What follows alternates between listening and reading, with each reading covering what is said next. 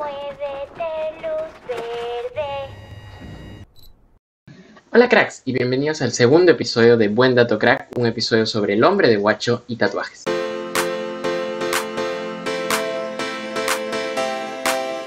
Para contar la siguiente noticia debemos ir al año 2014, y es que a inicios de este año el diario El Comercio nos hablaba sobre el riesgo que corría una colección muy importante en guacho.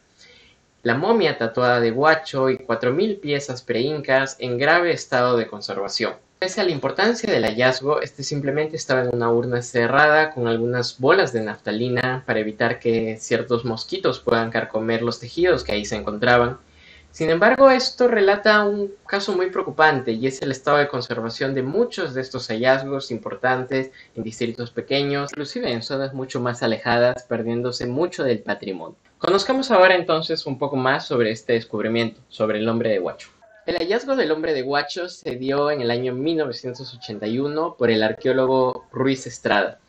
Eh, se encontró entre los puertos de Huacho y el barrio de Amay. La tumba había sido saqueada clandestinamente, llevándose muchas de sus ofrendas.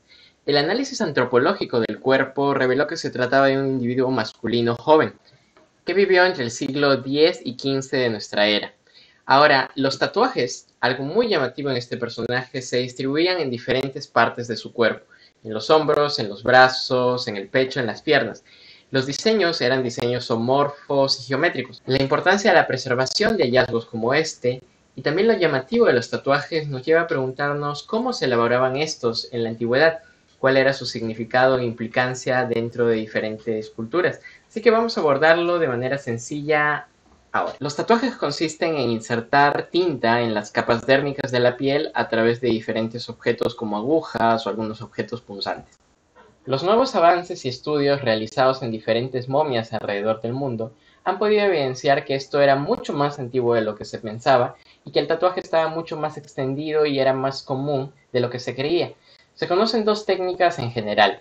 La primera y más clásica es el uso de alguna aguja o objeto punzante por el cual se realizaría una herida en la capa dérmica, insertándose la tinta y produciéndose el diseño que se quiere plasmar.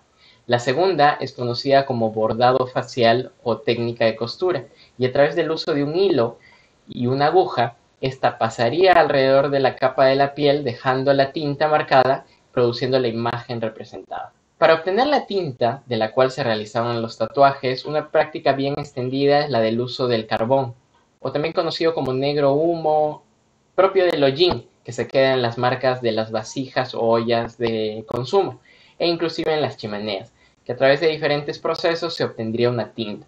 Otra forma es el uso de materiales vegetales eh, quemados, o también, por ejemplo, el, lo recuperado en la dama de cao, que es a través de este óxido ferroso derivado del fruto inmaduro del huito o de la.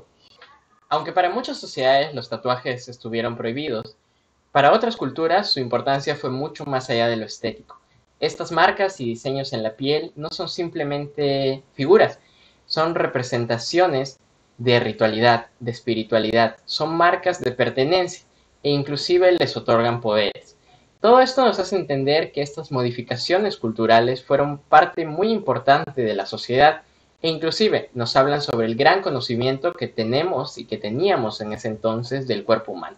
Muchas gracias cracks por apoyar este video y no olvides darle a like, suscribirte, activar la campanita que la dejaremos aquí en esta ocasión. Y si llegamos a las 50 suscripciones hasta el día domingo estaremos subiendo el especial de Halloween. Así que nuevamente depende de ti. Muchas gracias. Chao.